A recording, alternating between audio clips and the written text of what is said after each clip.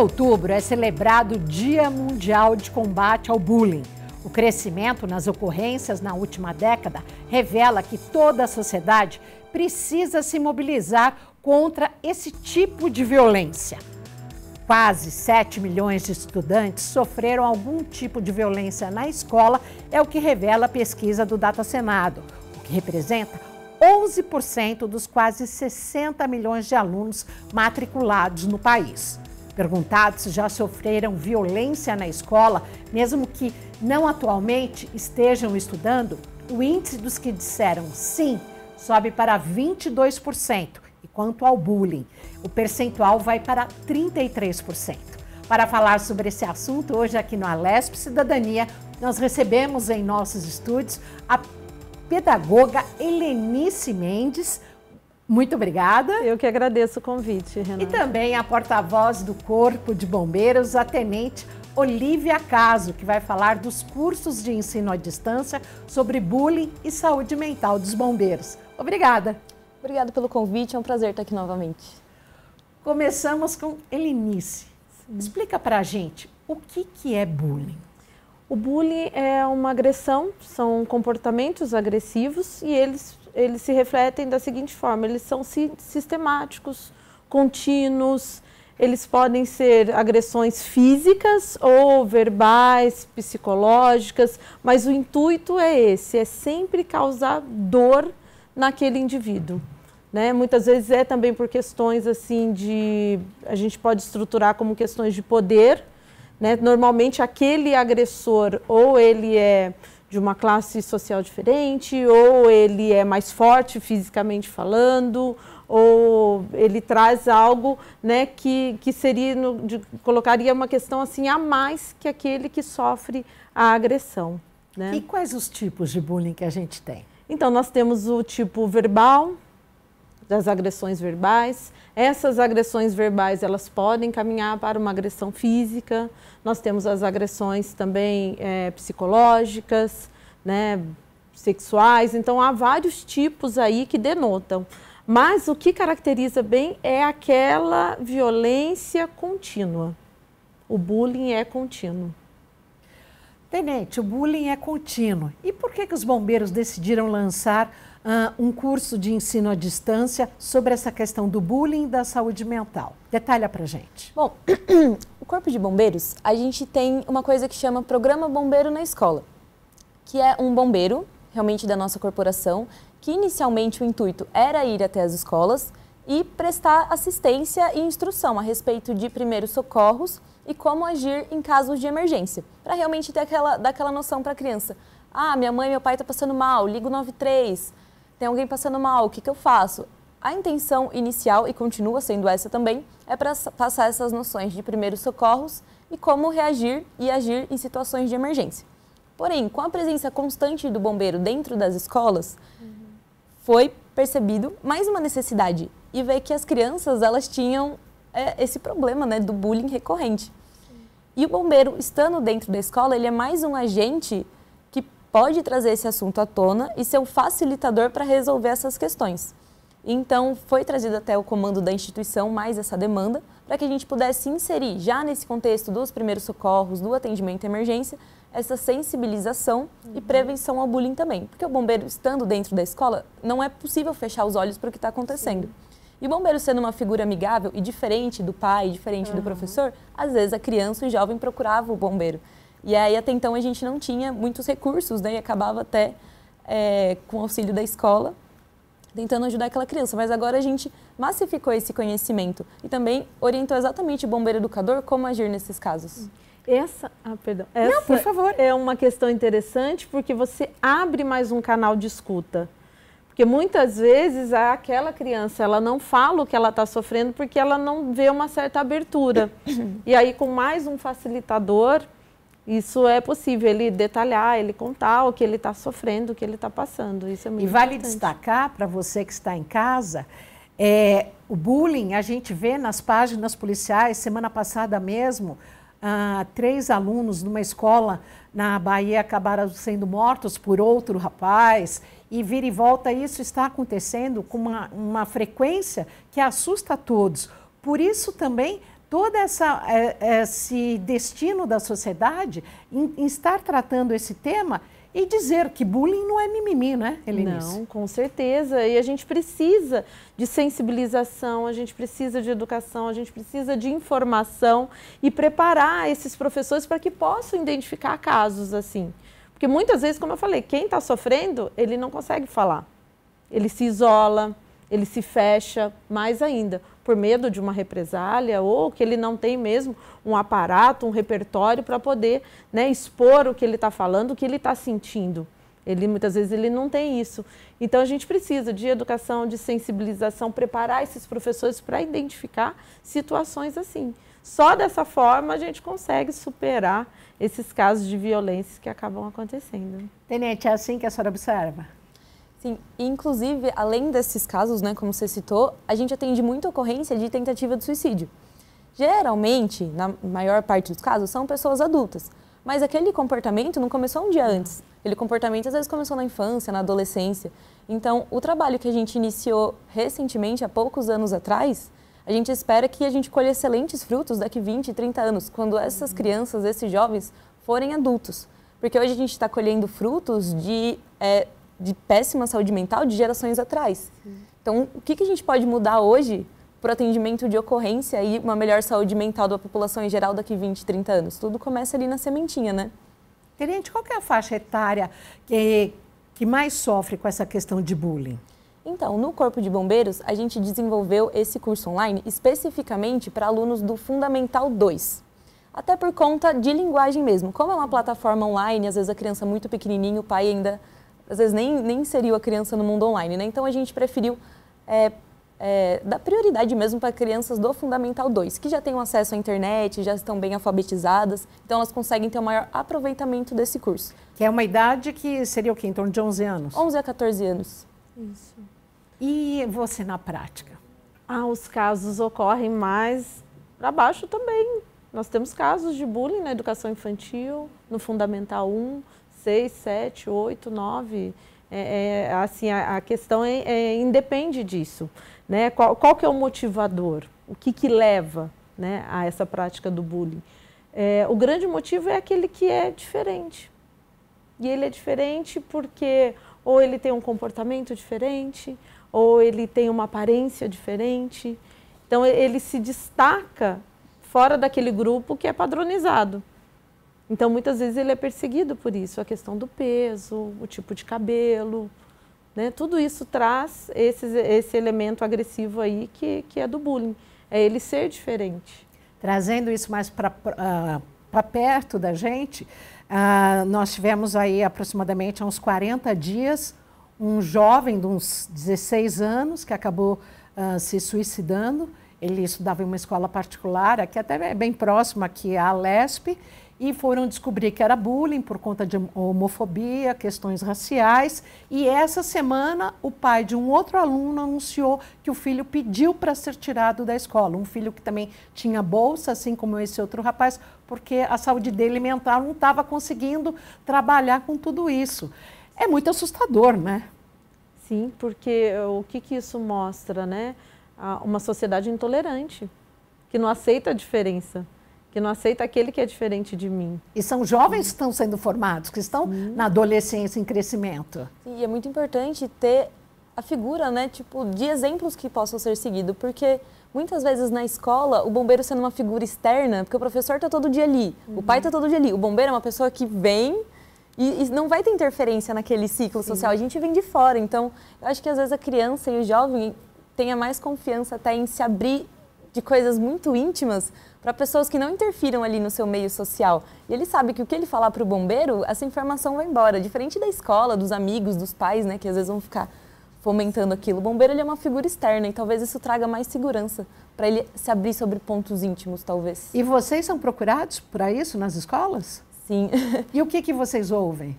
Olha, geralmente é isso mesmo que ela falou, né? Questões de peso, homofobia são muito frequentes e assim, geralmente o aluno que ele é mais quietinho, que ele, aquele aluno estudioso, diferente do popular do colégio, né? Geralmente por ser uma figura mais frágil, quando uma pessoa começa a atacar ele de forma agressiva, tanto verbal quanto fisicamente, o grupo vai atrás. E eu lembro muito isso na minha adolescência, assim, que acontecia também. Às vezes a pessoa que está praticando bullying, ela está praticando porque ele quer fazer parte do grupo de quem está praticando bullying, né? Nem porque ele acha legal ou quer fazer uhum, aquilo, sim. mas é porque ele quer ser inserido em grupos. O ser humano é assim. E às vezes você conscientizar não só a pessoa que está sofrendo bullying, mas quem está fazendo, às vezes é mais eficaz ou tanto quanto eficaz. De falar assim, amigo, que isso, pelo amor de Deus. Tipo, não falar só com quem está sendo a vítima, mas com quem está sendo o agressor também. Elinice, como é que você vê, diante de tudo que ela está falando, e até para explicar para quem está nos assistindo, quais são os sintomas aparentes de uma criança, de um adolescente que está sofrendo bullying na escola? Bom, um dos principais pontos que a gente precisa identificar e olhar é a mudança de comportamento.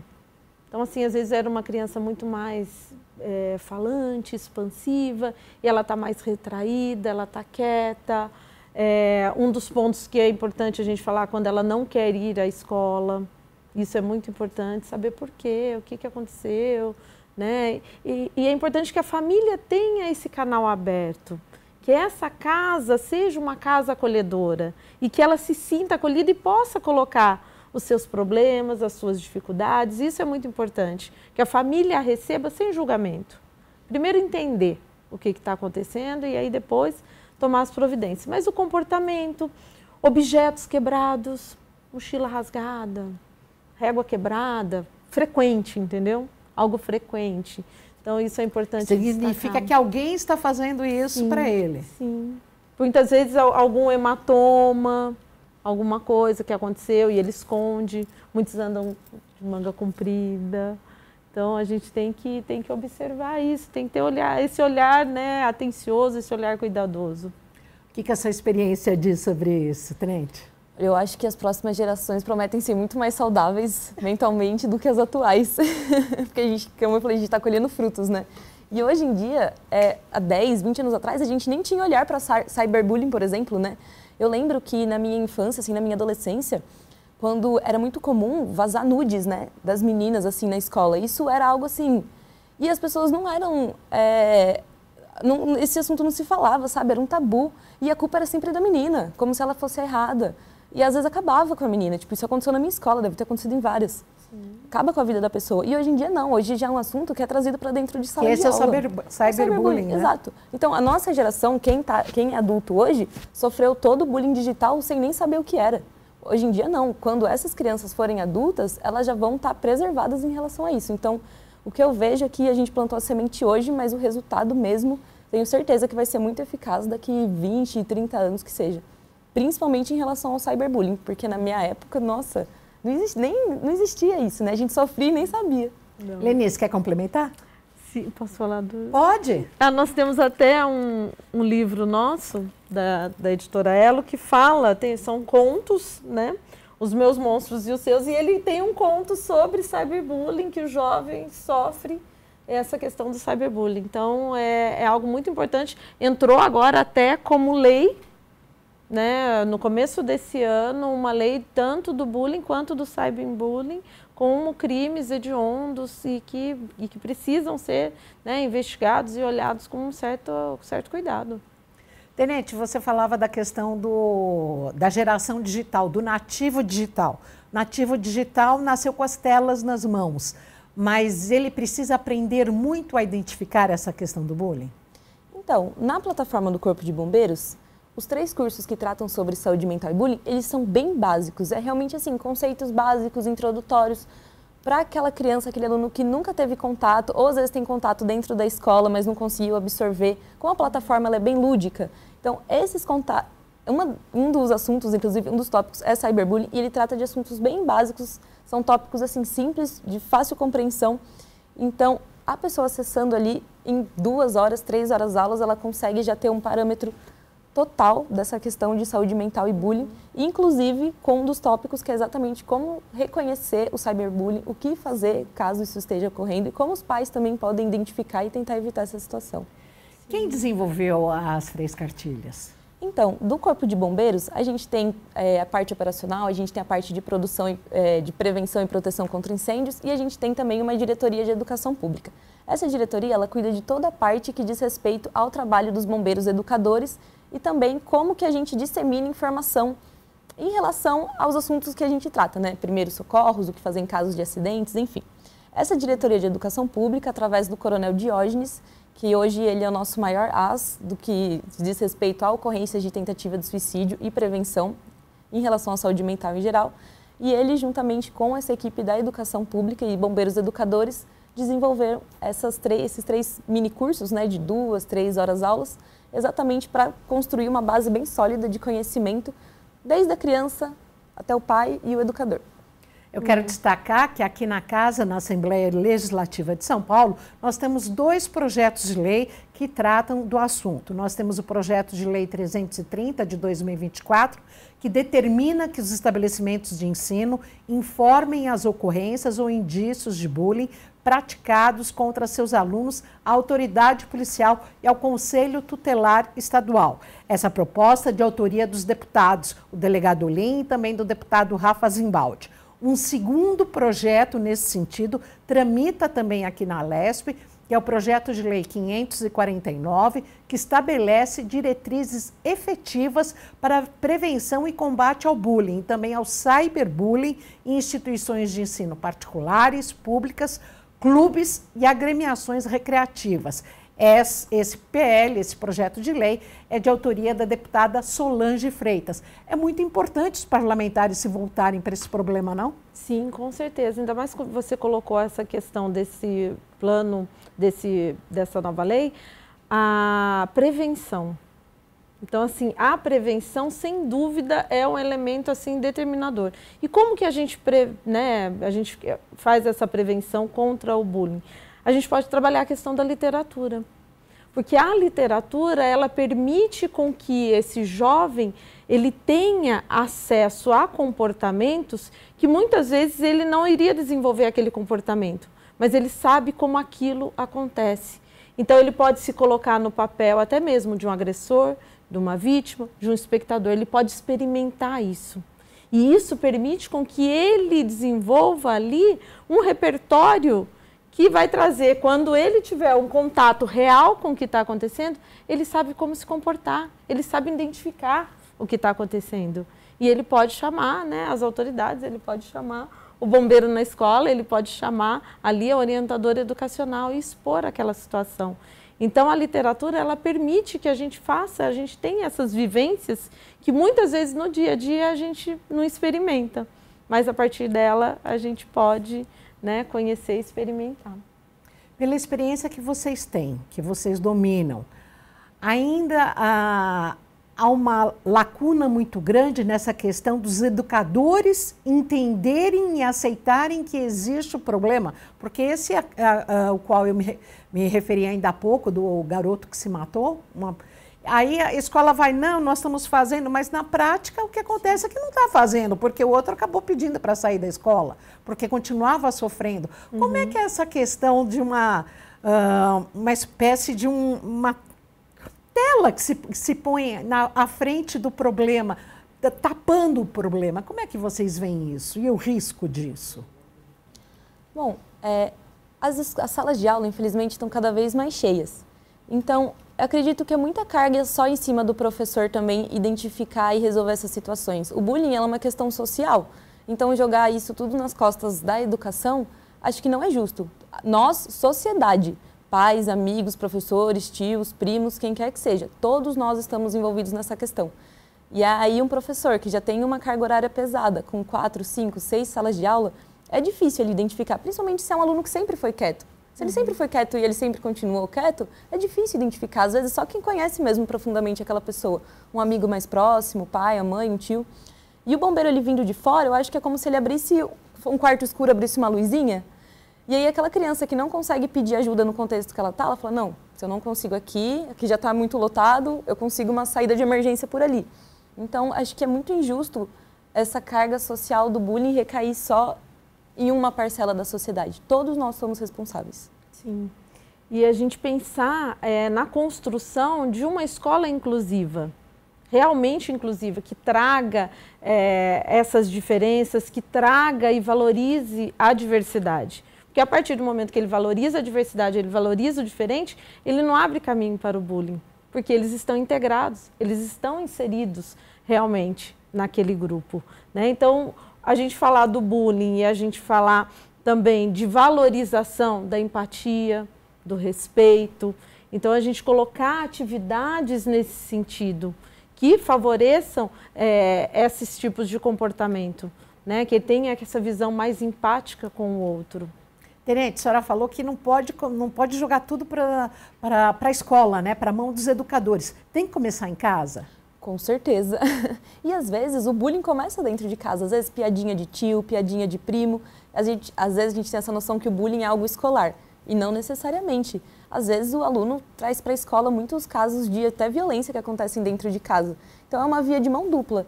E eu acredito, principalmente essas novas gerações já estão aprendendo que nem tudo que vem da família é saudável. Nem toda brincadeira do tio, nem toda brincadeira do pai é legal. E às vezes quem vai trazer essa luz é a escola. E vice-versa. Às vezes o pai vai, vai ouvir alguma história do filho e falar, não, não é normal isso acontecer na escola do meu filho. Então é uma via de mão dupla, realmente. Eu, quando criança, tinha uns 10, do, uns é, uns 10, 12 anos, eu sofria muito bullying do meu irmão por questões de gordofobia. Ah, cada vez mais gorda, ah, cada vez mais gorda. E era uma brincadeira. E hoje a gente sabe que não, não era brincadeira, né? Sim, sim. E, e quantos casos a gente vê que leva na situação do sobrepeso, né? Aquela jovem, normalmente mais sobre a menina, né? Que isso recai mas e, e, leva ela assim a atitudes drásticas mesmo de tentar diminuir esse peso. Sim. E como eu te falei da questão da literatura, nós temos até um livro, né, Ana, Ana Bola e outras histórias corajosas, que é um dos contos e fala sobre a gordofobia da Ana Bola. E ela é uma menina que veio do interior para morar na cidade grande, veio para uma escola nova e um dos primeiros na, na apresentação dela, ela fala: "Eu sou Ana Paula". Aí lá no fundo ela já escuta, ah, mas está mais é para Ana Bola. Né? E como ela trabalhar isso? E é interessante que ela vai, que ela luta. Aqui tem uma mensagem que eu acho tão bonita, que daí tem a ver também com, com o projeto de vocês. Ó. Ser corajoso é ir atrás do que se quer alcançar. Não há, não há como saber se vai dar certo. O negócio é acreditar. E ela faz todo o revés dessa história. E aí tem aquela história do se sentir diferente, porque todas as meninas são magras, eu não era. Sim. Todo mundo uh, gostava de correr, de fazer exercício físico, eu já era mais preguiçosa. Então tudo isso, daí você acaba apelando para a época uh, medicamentos laxativos, Sim. porque você comia e, e perdia. Então é, isso é, é, a saúde mental da, da, da criança, do adolescente, né? Que vai repercutir durante o resto da vida dele, né? Às vezes a pessoa é foi um dia gorda, já emagreceu, mas por ela ter sofrido gordofobia lá na infância, ela vai carregar isso a vida inteira. E nunca vai estar satisfeita, nunca vai se aceitar da forma que é, mesmo isso tendo acontecido às vezes há 30, 40 anos atrás. É uma cicatriz como se fosse real mesmo, que vai ficar para o resto da vida da pessoa. E uma outra questão que a gente tem hoje, até em função de toda a abertura que a gente vem vivendo na sociedade, é a questão da homofobia, né? As pessoas que não têm, ou que não são héteros, ou que são homos, e que e isso hoje já, já, é muito mais comum, é, essa aceitação, só que é uma aceitação entre aspas, né? Não é uma coisa unânime, seja em casa, no, no grupo social ou na escola, né? Isso mesmo. E, e para o indivíduo, é, já é um, um elemento difícil ele se aceitar.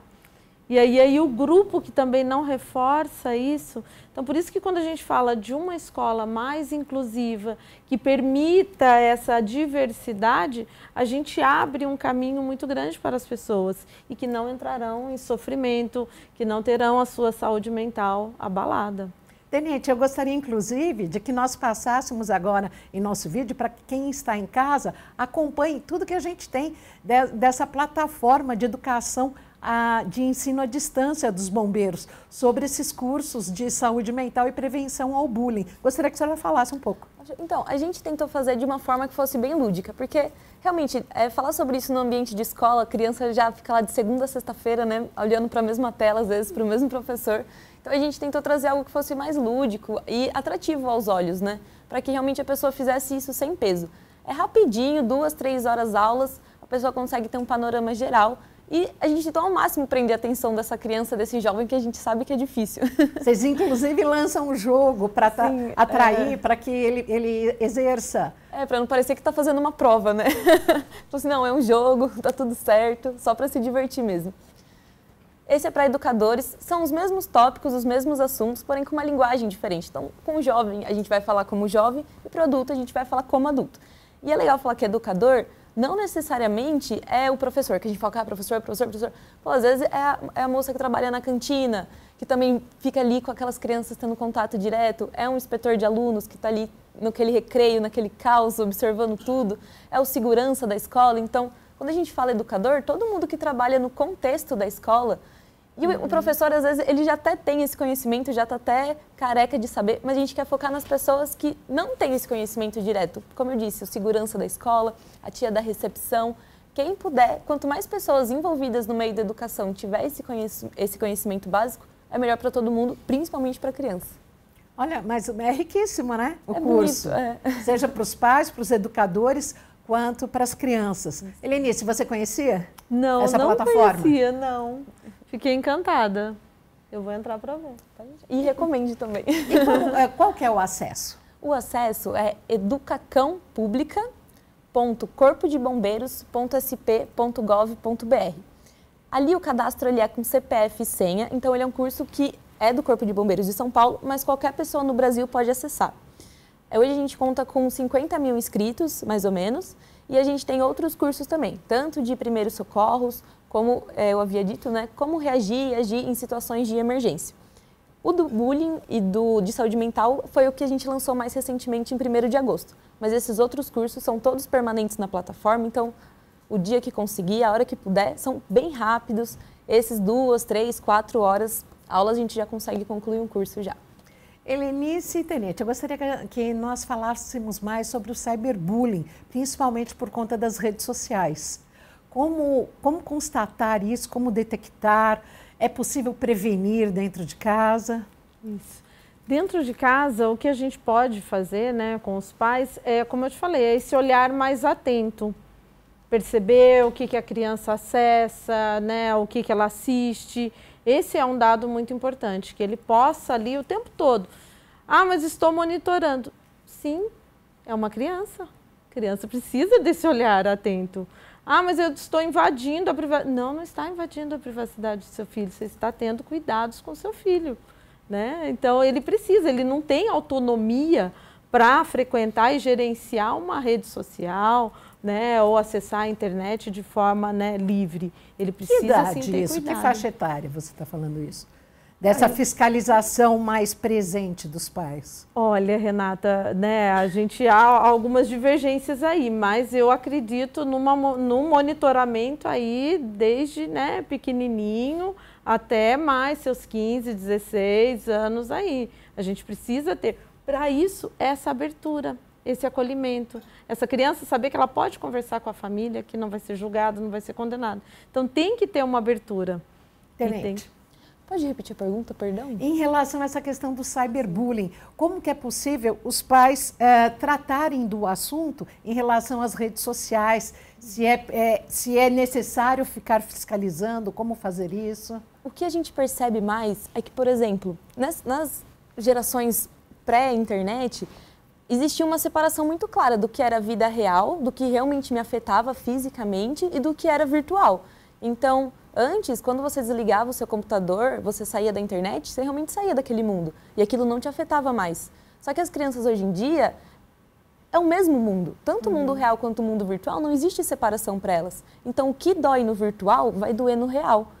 A gente, com uma cabeça mais antiga, consegue desligar a tela do computador e falar: Isso aqui para mim acabou para eles é a mesma coisa. Então, não diminuir a dor do cyberbullying. Não é porque ele é cyber, não é porque ele está dentro na, da tela que ele é menos importante ou ele dói menos do que o um empurrão. Uhum. Para as crianças e jovens de hoje, é a mesma dor, porque esse mundo é o mesmo, virtual e real, para eles estão no mesmo patamar. E como uh, levar à escola essa questão do cyberbullying?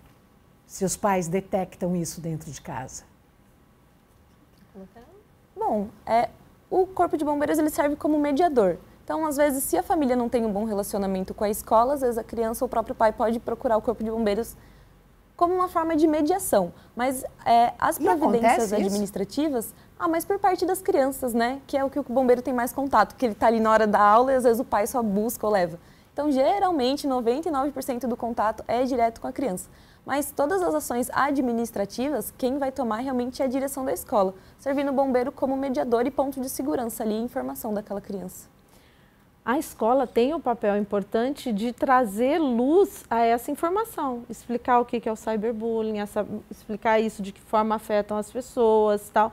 Então, é o papel dela trazer essa discussão para a sala de aula, para que eles entendam o que, que eles estão fazendo, para que eles tenham também uma curadoria do que estão assistindo ou do que não devem assistir. Então, toda essa discussão tem que ser feita no âmbito escolar. É preciso ativar essa consciência. Sim, sim. E ela tem que ser ampla, né? Seja em casa, na escola, Sim. nos clubes, até como a própria lei diz também. Sim, sim. E como a gente havia falado, né? Às vezes a gente fala bullying, foca muito na vítima, na vítima, na vítima. Mas às vezes a criança, o jovem que ele sofre bullying, ele pratica com outra pessoa. Então, não é só uma linguagem de vítima, é falar com o agressor e tentar fazer ele enxergar que o que ele está fazendo não é certo. Não só às vezes a gente fica, ai, a vítima, ai, coitado.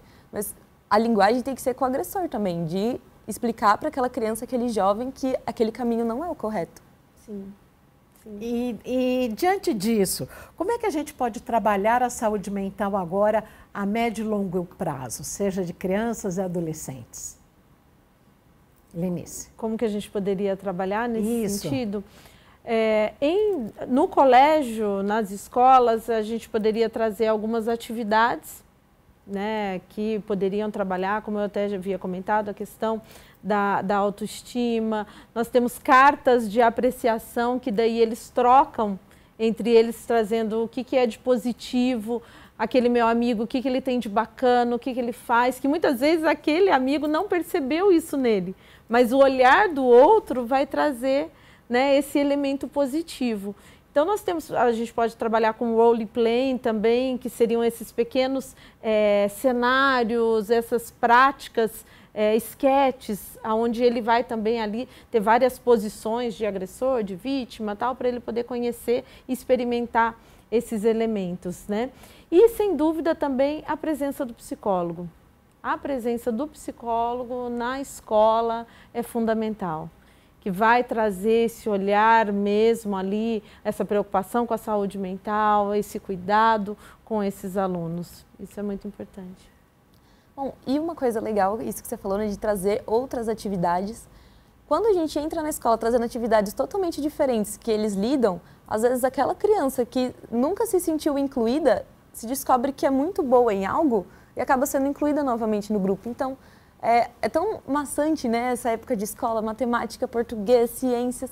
E quando a gente traz uma atividade diferente, às vezes até em forma de brincadeira, como primeiros socorros e atendimento à emergência, é uma grande brincadeira, é uma forma de inserir todos num contexto diferente da escola.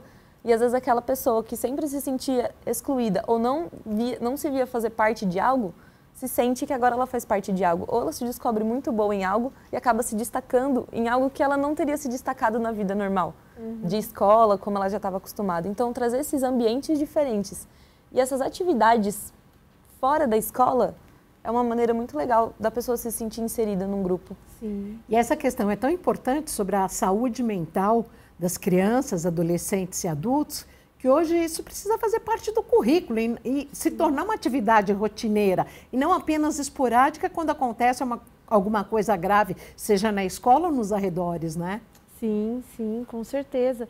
E, e nós temos, como, como eu havia colocado para você, até mesmo ali da educação infantil, há toda uma preocupação da relação dessas crianças com ela mesma, com o outro, com, né, com o professor, como que ela vai se enxergar, como que ela vai se ver naquele momento que ela está ingressando na escola. Ela sai daquele espaço da casa, daquele ninho, e entra ali, tem mais 20 amiguinhos, e aí, como que é? Como que se dá né, esse contato, essa relação? Então, a gente tem que ter esse olhar também atento para a saúde mental, porque a gente normalmente vai falar de saúde mental lá no Fundamental 2, ensino médio tal. Não, mas a gente precisa ter esse olhar cuidadoso ali desde esse início, que ela entra na escola. E a família só vai falar isso de verdade sobre saúde mental quando o adolescente já está virando adulto, pode passar por uma, alguma crise de ansiedade ou depressão, Sim. mas em relação a isso esqueceu tudo que ficou para trás, né?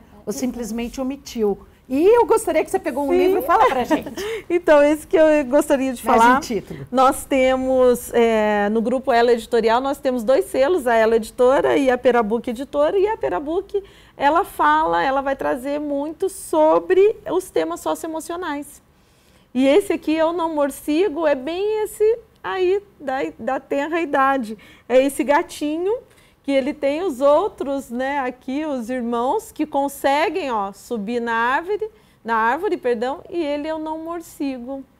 Então, vários momentos ele coloca isso. Os irmãos vêm, ah, você consegue, vem, pula aqui, você faz isso, você vai subir na mesa. Olha como é fácil. Ai, não acredito que você não consegue. E aí a gente pode uh, uh, fazer uma correlação com uma pessoa, uma criança deficiente, por exemplo. Sim, com certeza. Aquela criança, né, que tem uma dificuldade, uma dificuldade de aprendizagem, né, uma dificuldade de relacionamento, né? Então mostra. E a literatura, como eu te falei, ela permite, né, que a gente traga esses olhares diferentes para o nosso dia a dia que a gente possa ter essas experiências diferentes aí na nossa vida, né? Ampliar o nosso repertório. Tenente, qual é a importância da literatura infantil abordar esses assuntos? Nossa, eu acho que é exatamente conter a atenção da criança, né? Porque às vezes a gente chegar e falar, nossa, a gente é adulto, chato, né? Mas quando ela tem uma visão lúdica e diferente, esse assunto ele é mais palatável para a criança e para o jovem, né? Por isso, mais uma vez, a importância de sair desse ambiente de sala de aula. Vamos aprender uma coisa diferente, vamos fazer um jogo diferente.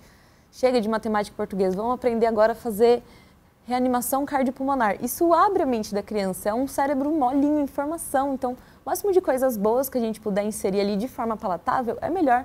Um adulto lá, paradão, chato, assim, pô, até a gente é difícil prestar atenção, não imagina Sim. uma criança. Então, é muito, muito, muito legal. Quanto mais abertura tiver a escola para a gente inserir aulas e temas diferentes é melhor, melhor máximo possível para aprendizagem. É isso que pode ser feito para quem ligou a TV agora, para quem nos acompanha, chegou agora. É, o que, que é possível fazer para o bullying não virar caso de polícia? Acho que, primeira coisa, não deixar essa bola de neve crescer. Então, a partir do primeiro momento, dos primeiros sinais, já podar na raiz. E assim, é, muitas vezes. Seja do agressor ou da vítima. Ou da né? vítima. E muitas vezes é, é, a gente fala, não, é, beleza, conversa, conversa, conversa. Tem um ponto que a gente tem que ser firme também. Porque, ah, a compreensão, a conversa é legal? É legal. Mas, poxa, se chegou num nível de agressão, se você está no nível que você está agredindo uma pessoa, então a conversa com você tem que ser mais séria. Então, nós, como adultos e responsáveis, a gente tem que falar no nível que aquele jovem, aquela criança tá. É legal a conversa? É legal a conscientização? Beleza.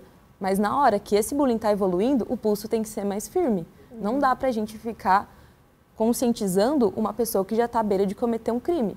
Tem que ser mais rígido. Por isso as linguagens diferentes. Sim. Qual a sua orientação como pedagoga? Que uma escola, que essa escola seja mais inclusiva, que essa escola aceite a diversidade, o respeito às diferenças, a tolerância né? Que, a gente que isso possa ser discutido no dia a dia dessa escola. Né? Porque a partir do momento que você abre e acolhe verdadeiramente o diferente, você esvazia o ato de bullying. Algum outro livro você gostaria de, de comentar? Temos, temos sim. É, aqui meu amigo Marciano, esse que é diferente de mim. Então, esse respeito às diferenças, esse meu amigo que tem anteninha, esse meu amigo né, que é verde, então, assim, como que eu aceito ele, como eu trabalho, como eu me relaciono com esse que é diferente de mim. Né? Então, isso também é muito importante, o respeito às diferenças. Temos tempinho para mais um. Temos mais um. Então, aqui, ó, com Dudu e sem Dudu, né? É a Naninha. O Didi, ele não sabe se vai levar o Dudu para a viagem, que ele está com medo de sofrer bullying dos amigos, os amigos fazer, né, fizerem chacota dele. Então esse aqui também vai falar sobre isso. Se ele leva ou não leva a Naninha para o acampamento. Hoje no Alesp Cidadania nós falamos sobre o bullying, a saúde mental das crianças e também dos adolescentes. Nós agradecemos muito aqui a participação da pedagoga Helenice Mendes, Muito obrigada. Qual que é o site da livraria, por favor? É Elo Editora, www.eloeditora.com.br. Elo com dois L's? Não, com L só. Com L só. E da Tenente também, a Tenente Olivia Caso, que é porta-voz do Corpo de Bombeiros e que veio expor aqui essa plataforma de ensino à distância do Corpo de Bombeiros. Por favor, só repete os todos os cursos que nós temos lá uhum. e o site. Queria agradecer mais uma vez. É, os nossos cursos, eles são de primeiros socorros e como agir e reagir em caso de emergências. Emergência abrange princípio de incêndio, acidente de trânsito, entre outros. E em relação à prevenção do bullying e saúde mental, nós temos três cursos que são o mesmo tema, mas separados para é, pessoas diferentes. Então, a gente tem a prevenção para crianças, para os pais e para os educadores. E o site é educação pública, sem acento, né, educacalpublica.corpodebombeiros.sp.gov.br. Muito obrigada. Eu que agradeço mais uma Eu vez. Eu que agradeço o convite. E a você, obrigada pela sua audiência. Hoje falamos sobre um assunto muito importante, a questão do bullying, principalmente para crianças, adolescentes e jovens. Obrigada pela sua audiência.